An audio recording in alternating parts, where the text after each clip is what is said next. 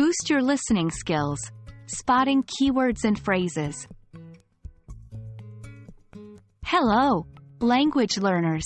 Today, we're diving deep into a crucial skill for acing your Cambridge English listening tests. Identifying keywords and phrases. This technique is a game changer when it comes to understanding and interpreting spoken content. So let's jump right in. Keywords and phrases are essentially the words that hold the most significance within a sentence or a spoken segment. They give you clues about the main idea, the topic, or the specific details of what's being discussed. For instance, in the sentence, Despite the heavy rain, we decided to go out and grab a pizza. The keywords would be heavy rain, go out, and pizza. In listening exams, you often don't have the luxury to rewind or replay the audio. That's where spotting keywords becomes super handy. By tuning into these important words, you can quickly grasp the core message or the main theme of the audio. They help you anticipate what might come next. They guide you in picking out the right information to answer questions correctly. 1. Practice predicting. Before the audio starts, skim the questions or any related text. It will help you predict the potential keywords to listen out for. 2.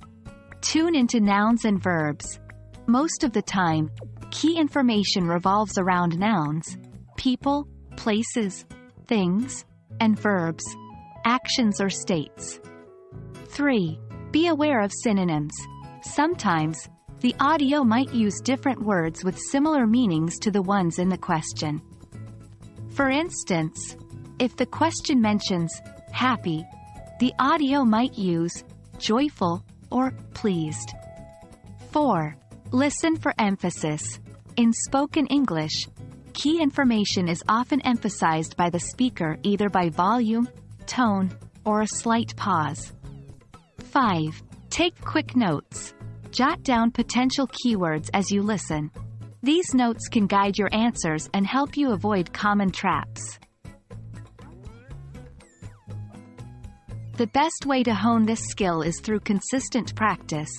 Try listening to English podcasts, news, or stories. Pausing occasionally and trying to summarize what you heard using the keywords. Comparing your notes with a transcript, if available, to check how well you identified the key terms. Remember, everyone, the journey to mastering a language is a marathon, not a sprint. By focusing on identifying keywords and phrases, you're sharpening a critical tool for your listening test toolbox. Keep practicing, stay patient, and believe in yourself. Here's hoping this video has added value to your test preparation journey. Happy learning!